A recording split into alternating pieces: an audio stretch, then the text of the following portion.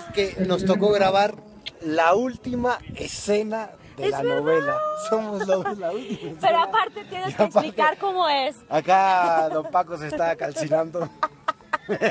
Es de las 11 Mire, de la mire. mañana.